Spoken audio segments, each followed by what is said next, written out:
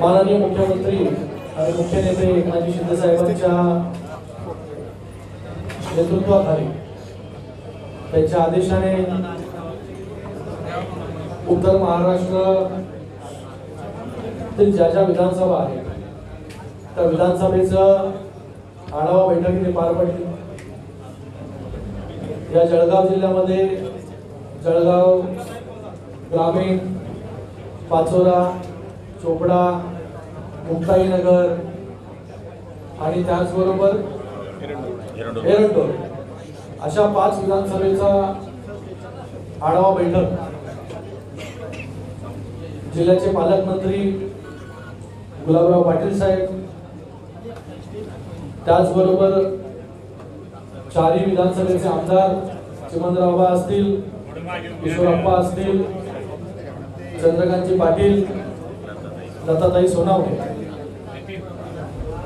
चंद्रकांतजी काही आजारी असल्यामुळे ते उपस्थित राहू शकले नाही. पण सर्वच्या सर्व पदाधिकारी कार्यकर्ते या जनसंवाद कार्यक्रमाला उपस्थित होते. लोकप्रतिनिधी असतील पदाधिकारी असतील कार्यकर्ते असतील या सगळ्यांशी थेट बोलता यावं म्हणून हा जनसंवाद कार्यक्रम आयोजित केला गेलाय या कार्यक्रमाला आमचे नेते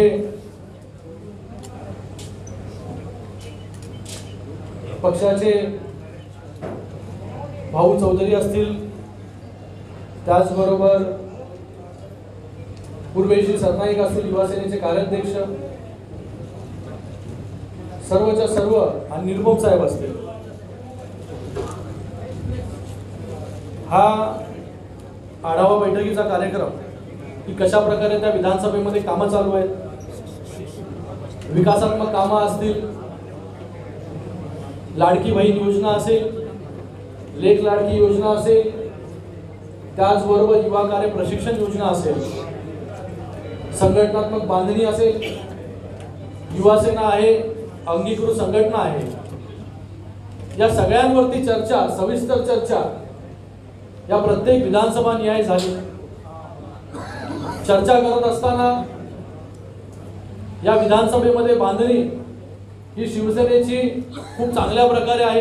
पाचही विधानसभेमध्ये चांगल्या प्रकारे लाडकी बहीण योजनेचे लाभार्थी प्रत्येक विधानसभेमध्ये बनवले गेलेले आहेत. गुलाबराव पाटील साहेबांच्याच मतदारसंघामध्ये नव्वद हजारापेक्षा जास्त लाभार्थी आहेत. अशा सगळ्याच विधानसभेमध्ये कुठे सत्तर हजार कुठे साठ हजार कुठे ऐंशी हजार. असे सर्व लाभार्थी तयार केले गेलेत आणि लाभार्थ्यांना लाभ देखील मिळालेला आहे. सरकारची एक महत्त्वाच्या महत्वाकांक्षी योजना म्हणून लाडकी बहीण योजना. इथे माननीय मुख्यमंत्री असतील उपमुख्यमंत्री मोदी असतील दोघंही. यांच्या नेतृत्वाखाली आणली गेली. आणि त्याला चांगला प्रतिसाद जो आहे हा लोकांकडून महिलांकडून बहिणींकडून मिळाला. रोज लाखो रजिस्ट्रेशन जे आहेत पूर्ण महाराष्ट्रभर होतात. आजपर्यंत एक कोटी वीस लाख म्हणजे पंधरा ऑगस्ट पर्यंत एक कोटी वीस लाख महिलांना लाभ मिळाला. आणि त्याची डेडलाईन आता देखील वाढवलेली आहे ती सप्टेंबर पर्यंत तेव्हा देखील त्याच्यापेक्षा जास्त लाभार्थी येणाऱ्या काळामध्ये तयार होते या जिल्ह्यांमध्ये या सगळ्या विधानसभेमध्ये संघटनात्मक ताकद खूप चांगली आहे पक्षाची.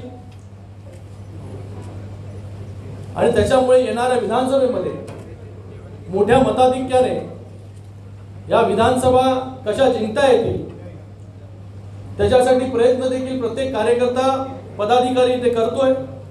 लोकसभेमध्ये जे लीड मिळालं त्याच्यापेक्षा जास्त लीड या येणाऱ्या विधानसभेमध्ये या सर्वच्या सर्व मतदारसंघामध्ये मिळेल याच्यात तीळ मात्र शंका नाही आजच्या बैठकीमध्ये नेमकं काय चर्चा करण्यात आली कार्यकर्त्यांची काय मतं जाणून घेण्यात आली आणि नेमकं तुम्हाला मेसेज काय द्यायचा आहे कार्यकर्त्यांपर्यंत? तुम्हाला मी ते सांगितलं की कार्यकर्त्यांबरोबर जे आहे की प्रत्येक कार्यकर्त्याशी बोलता आलं त्याच्या भावना त्यांनी तिथे व्यक्त केल्या की बाबा कशा प्रकारे आजपर्यंत विधानसभेमध्ये काम चालू आहे अजून कुठल्या गोष्टी केल्या विकासात्मक? तर त्याचा परिणाम अजून चांगला जो आहे मतदारसंघावरती येईल या सगळ्या गोष्टी घेऊन माननीय मुख्यमंत्री मोदयांपर्यंत हा सगळा मेसेज जो आहे हा आम्ही देणार आहोत. आणि त्याच्यामध्ये जास्तीत जास्त म्हणजे या विधानसभेमध्ये आता या जिल्ह्यामध्ये या पाचही लोक विधानसभेमध्ये मला वाटतं रेकॉर्ड तोड कामं आणि निधी हा आणण्यामध्ये हे सगळेचे सगळे आमदार असतील मंत्री असतील हे यशस्वी झालेले आहेत. अजून त्याच्यामध्ये काय राहिले असतील उणिवा तर त्या देखील येणाऱ्या काळामध्ये या दोन महिन्यांमध्ये कशा भरून निघतील याच्यासाठी आमचा प्रयत्न असेल. शिंदे साहेब शिंदे साहेब एक अ, विषय आहे. बोला, बोला, मागे बोला. लोकसभा निवड म्हणजे आता ज्या निवडणुका झाल्या तर त्या निवडणुकांमध्ये शिवसेनेने भाजपला साथ दिलेली आहे. जळगाव जिल्ह्याचा एक इतिहास राहिलेला आहे की जेव्हा जेव्हा विधानसभेच्या निवडणुका होता तेव्हा भाजप त्यांचे अ, बंडखोर उभे करतात. शिवसेनेच्या उमेदवारांसमोर. तर नेमका याचा सामना आता कसा केला मला वाटतं तिन्ही पक्ष शिवसेना भारतीय जनता पार्टी आणि राष्ट्रवादी काँग्रेस हे तिन्ही नेते एकत्र काम करतायत. आपण पाहताय की विविध कार्यक्रमाच्या निमित्ताने तिन्ही नेते एकत्र मिळून या महाराष्ट्रामध्ये काम करताना आपल्याला दिसत आहेत लाडकी बहीण योजनेच्या माध्यमाने एकत्र ते काम करतायत सगळे कार्यकर्ते एकत्र काम करतात आणि मला वाटतं विधानसभेमध्ये देखील सर्वच्या सर्व तिन्ही पक्ष जो कुणाचा उमेदवार असेल त्याला बाकी दोन पक्ष पूर्णपणे सहकार्य आणि मदत करून कसा निवडून येईल याच्यासाठी पूर्ण ताकदीने जसं लोकसभेमध्ये एकत्र मिळून काम केलं तसं विधानसभेमध्ये देखील एकत्र मिळून तिन्ही पक्ष काम करतील आणि प्रत्येक उमेदवार जो आहे तो निवडून आणतील नंतर अमोल शिंदे जे आहेत ते आता तयारी करतायत. म्हणजे ज्या ज्या ठिकाणी शिंदे बघा मी तुम्हाला सांगितलं की हा प्रत्येक विधानसभेमध्ये बंडखोरी होणार नाही याची दक्षता जी आहे हे वरिष्ठ नेतृत्व हे नक्की त्या ठिकाणी घेतील. प्रत्येकाला इच्छा असते की बाबा मी विधानसभेमध्ये उमेदवार झालो पाहिजे. विधानसभा मी लढली पाहिजे. प्रत्येक पक्षाला वाटत असतं की माझी ताकद जी आहे ती इथे वाढलेली आहे. मी देखील आमदार होऊ शकतो. पक्षाला वाटत असतं माझे देखील आमदार वाढू शकतात. तर त्या दृष्टिकोनातून सगळे प्रयत्न करत असतात. पण मला वाटतं आता वरच्या नेतृत्वाला सगळ्या गोष्टी क्लिअर आहेत. जागा वाटपाचा आपण विचारता मला. मला वाटतं त्या देखील गोष्टी वरिष्ठ पातळीवरती सुरू आहेत त्यांची बोलणी. लवकरात लवकर जागा वाटप देखील निश्चित होईल. आणि प्रत्येक ठिकाणी उमेदवार जो दिला जाईल महायुतीचा हा कसा निवडून येईल याच्यावरती पूर्णपणे काम प्रत्येक कार्यकर्ता जो आहे प्रत्येक पक्षाचा करेल. बंडखोरी झालीच तर काय पुढचा प्लॅन आहे? आता फ्युचर कुठे विचारता मला? मी कुठे भविष्यवाणी नाही करू शकत तुम्हाला. बघा. मला वाटतं आम्ही लहान कार्यकर्ते आहोत. त्या सगळ्या गोष्टीचा चर्चा उत्तर मला वाटतं वरिष्ठ पातळीवरती या सगळ्या गोष्टींचा जो विचार करूनच हे सगळे तिन्ही पक्ष आम्ही एकत्र आलोय. आणि हे काय कुठे एका जागेसाठी सत्तेसाठी लोकांसाठी महाराष्ट्रासाठी महाराष्ट्राच्या भल्यासाठी विकासासाठी जे आहे तिन्ही पक्ष एकत्र आले आणि आपण त्याचा प्रत्येक पाहताय की गेल्या दोन वर्षांमध्ये जेवढ्या जनकल्याणकारी योजना आणल्या जेवढ्या विकासात्मक कामं इथे झालेली आहेत. हॅलो. अडीच वर्ष अगोदरचं पण सरकार पाहिलं आपण आणि या दोन वर्षाचं सरकार देखील आपण पाहिलं. या दोन वर्षांमध्ये आणि गेल्या अडीच वर्षामध्ये जमीन आसमानचा फरक जो आहे तो या दोन्ही सरकारमध्ये आहे. सर मुक्ताईनगरची सीट ही शिवसेनेची आहे की भाजपची आहे? गेल्या वेळेस तिथे भाजपचे उमेदवारही होते. आणि अपक्ष उमेदवार बघा मी तुम्हाला पुन्हा पुन्हा तेच सांगतोय. पुन्हा पुन्हा मागच्या वेळेस पण युती होती गुलाबराव आणि अनेकांच्या विरोधात भाजपाने पुन्हा पुन्हा तेच सांगतोय मी. कोण कुठे लढेल? कुठला पक्ष कुठे लढेल? हे वरिष्ठ पातळीवरती जे आहे ही चर्चा होईल. जो जिथे निवडून येईल विनेबल क्रायटेरिया असणार आहे. जो जिथे निवडून येणार तिथे मला वाटतं जे आहे वरिष्ठ पातळीवरचे सगळे नेते एकत्र बसतील चर्चा करतील आणि कोण किती जागा लढवेल याच्यावरती निर्णय घेतील. शिंदे साहेब शिवसेनेत फूट पडल्यानंतर पहिलीच विधानसभेला आपण सामोरे जातो आहोत. ह्या ज्या जागा आहेत आपल्या चारही आपण शिवसेना एकत्र असताना विजय झालेल्या जागा होत्या. आता शिवसेना शिंदे गट वेगळा आणि ठाकरे गट वेगळा आहे. अशा परिस्थितीमध्ये आज तुम्ही आढावा घेतल्यानंतर आपली परिस्थिती काय आहे मतदारसंघाची? मतदारसंघाची परिस्थिती एकदम चांगली आहे. लोकसभेमध्ये या मतदारसंघांमध्ये ज्या मतदारसंघाचा आज आढावा झाला त्या मतदारसंघामध्ये जेवढं लीड आहे त्याच्यापेक्षा जास्त लीड या विधानसभेमध्ये मिळेल एवढं आजच्या या आढावा बैठकीमधून मला दिसून आलं. कारण की संघटनात्मक बांधणी ही खूप स्ट्रॉंग आहे इथे.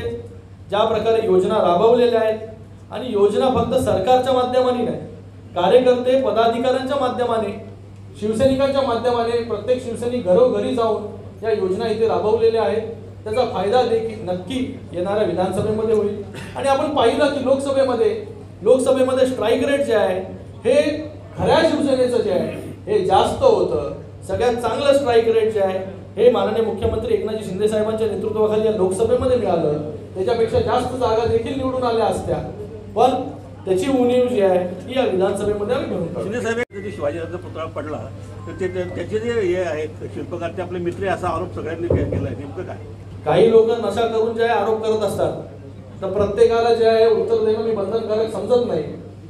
त्याच्यावरती कमिटी आणि त्याच्यावरती इन्क्वायरी जी बसलेली आहे.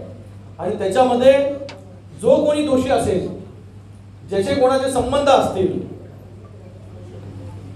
पूर्णपणे त्याच्यावरती कठोर अशी कारवाई जी आहे ती केली जाईल. कोणालाही त्याच्यामध्ये सोडलं जाणार नाही. हा झालेला प्रकार जो आहे हा खूपच दुर्दैवी आहे. आणि अशा प्रकारच्या घटना घडल्या नाही पाहिजे. कशा प्रकारे कोणाला काय काय तिथे परिस्थिती निर्माण झाली का हा प्रकार घडला याची सखोल चौकशी जी आहे मला वाटतं नौदल आणि महाराष्ट्र सरकार हे करत आहे पुन्हा असे प्रकार होणार नाही याची पूर्णपणे दक्षता जी आहे खबरदारी जी आहे ती महाराष्ट्र सरकार घेईल. आणि त्याचबरोबर मान्य मुख्यमंत्री मोदयांनी हे देखील सांगितलेलं आहे की तिथे पुन्हा नौदल आणि महाराष्ट्र सरकारच्या वतीने छत्रपती शिवाजी महाराजांचा मोठा असा पुतळा जो आहे तो तिथे लवकरात लवकर कसा उभारला जाईल त्याच्यासाठी महाराष्ट्र सरकार जे आहे हे नौदलाबरोबर पूर्णपणे सहकार्य करून त्या ठिकाणी काम करेल. आणि मला वाटतं प्रत्येक गोष्टीचं राजकारण करायचं ऑपोजिशननी ठरवलेलं आहे की कुठली कुठलाही प्रकार घडला तर त्याच्यामागे पूर्णपणे राजकारण करायचं त्याला एक वेगळं वळण लावायचं कारण की लाडकी बहीण योजना ही एवढी सुपर डुपर हिट योजना झालेली आहे की लाडकी बहीण योजनेला घाबरून प्रत्येक गोष्टीमध्ये लाडकी बहीण आणण्याचं काम हे विरोधक इथे करतायत. कारण की त्यांना आता माहिती आहे की ज्या प्रकारे मान्य मुख्यमंत्री असतील उपमुख्यमंत्री मोदय असतील यांच्या नेतृत्वाखाली गेल्या दोन वर्षांमध्ये ज्या प्रकारे या महाराष्ट्रामध्ये कामं झाली विकासात्मक कामं झाली. आणि त्याचबरोबर या विकासात्मक कामांबरोबर आता कल्याणकारी योजना देखील इथे आणण्याचं काम सरकारच्या माध्यमाने झालं.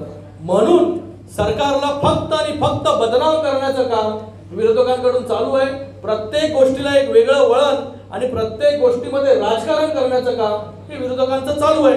आणि मला वाटतं ते पूर्ण त्यांचा त्यांना आता माहिती पडलेलं आहे की भविष्यामध्ये त्यांना काय दिसतंय तिथे की बाबा कशा प्रकारे लोक कोणाबरोबर लोकसभेमध्ये आणि आता विधानसभेमध्ये उभे राहतील. कारण की लोकसभेमध्ये तुम्ही काही विशिष्ट लोकांना त्यांच्यामध्ये गैरसमज पसरून की बाबा कॉन्स्टिट्यूशन खतरे में आहे संविधान खतरे में आहे आणि अशा प्रकारे तुम्ही लोकांमध्ये गेलात त्यांना भडकवण्याचं काम केलं ते आता तुमचं झालं. आता लोकांना माहिती पडलं की बाबा हेल्दी जे आहे हे फक्त भडकवण्यासाठी हा अपप्रचार केला. लोक देखील सुज्ञ आहेत आता. लोकांना देखील लोक देखील आम्हाला आता भेटतात की आमच्यामध्ये अपप्रचार केला गेला. म्हणून आम्ही जे आहे हे घाबरून तिथे मतदान केलं.